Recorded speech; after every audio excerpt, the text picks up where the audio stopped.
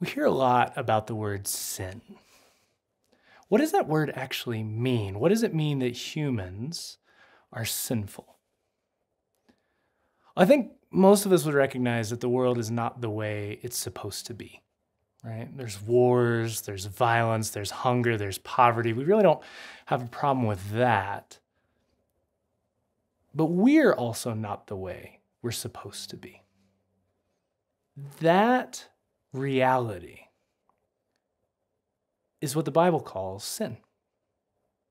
This sense that we also are broken, not just other people or not just the world out there is broken. That we are actually, if you want to put it this way, captive to a power that keeps us from becoming the people we were meant to be. See, a lot of times when we talk about sin, we think, oh, sins are these like bad things that we do these these these small things oh, I could have done that a little bit better. But but the Bible's picture is actually far deeper and richer than that.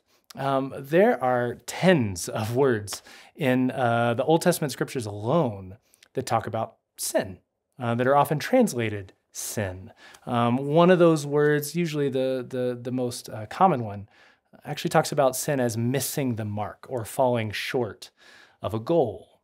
Uh, I think that's a, a, really helpful picture. Another word, kind of the second most common word for sin uh, in the Hebrew scriptures, is, is this idea of being bent or twisted. Right? The picture of sin is that there is a way it's supposed to be, and that we don't get there. It's either bent or twisted, or we fall short of that goal. And it's not just that there's some exterior law, that there's some, some arbitrary set of rules that we've fallen short of. The picture we have from Genesis is that we are meant to be in perfect, loving relationship with God that there's a trust relationship where, where, yes, God shows us because He made us what it means to live the fullness of life. But in rejecting that fullness of life, we're actually rejecting him fundamentally.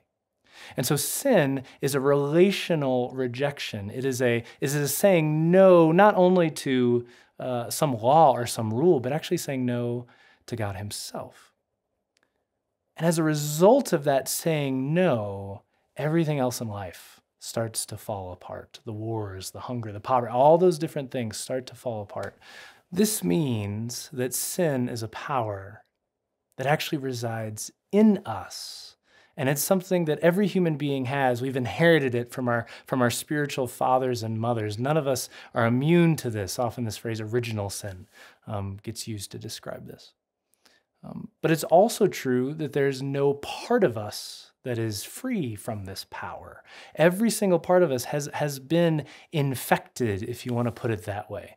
Um, there's nowhere to run, there's nowhere to hide. This is something all of us experience. Now, there may be certain areas of our lives where we may wrestle or, or, or, or, or struggle with a sin more than someone else. But this power of sin, this inheritance of sin, is something that's true of all of us. And what it creates then is this actually radical equality. We're all on the same page. There's no good people and bad people.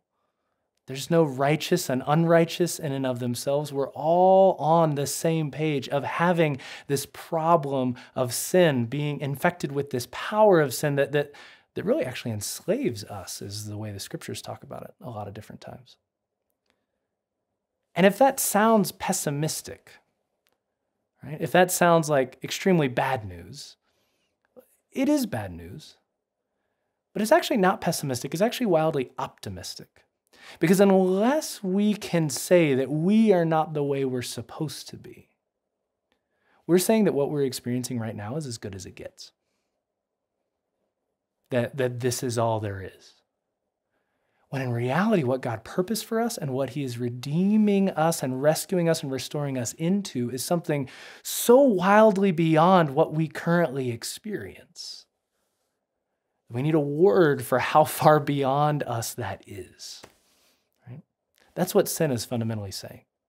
That we were meant to be so much more, and that God, in his love and care for us, is actually going to bring us to that fullness as we trust in him.